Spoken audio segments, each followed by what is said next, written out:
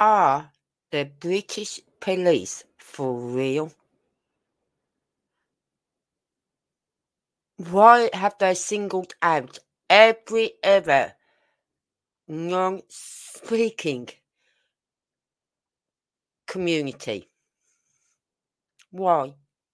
Just take a listen to this. Assalamu alaikum. Uh, my name is Phil Hutchinson and I am the Superintendent uh, for Greater Manchester Police based in Oldham. Um, obviously, echo everything that uh, the leader, Rouge, has, uh, has said. Firstly, thank you very much for inviting us and arranging um, the meeting. It's the inaugural meeting. Uh, we're having these now bi-monthly, so um, uh, in respect to, to what Rouge has mentioned about some increased tension, obviously there are a number of issues going on nationally and within Greater Manchester.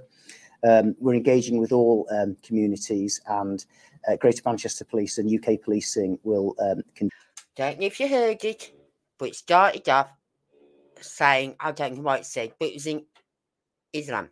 It was the uh, Islamist uh, tongue, okay? However they took, whatever they call it. Here is the next one. Now this, I've already done a video earlier on our West Midlands Police. Here is the next. Salam alaikum. Good morning, everyone, and thank you to the leaders and elders that have afforded me this opportunity to speak to you personally.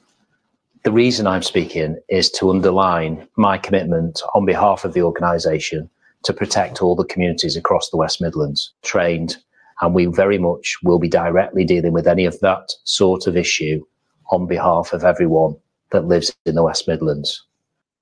He greets them in the Islamic tongue and thanks the elders and the, their communities for letting him speak. I am just totally lost for words.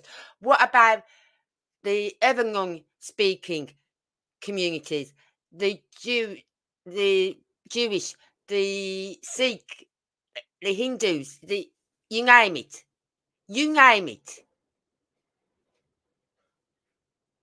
the Chinese, the Japanese. There's lots of them who don't speak the English language.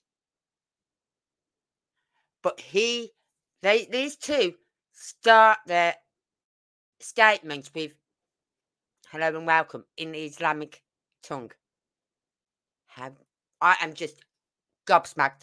This video probably won't even get fucking released, but I'm going to try and how they have singled out every other non speaking English community. And yet they are there to protect them. It was them, their Islamic, uh, the Muslim community, who set about our people in the West Midlands, in Birmingham. It was their people, their community, that set about the young white, the uh, white community and they are there to protect them. What about protecting the whites, the Catholics, the Christians, the Jewish? You name it. What about protecting them? Stop with this two tier flipping policing.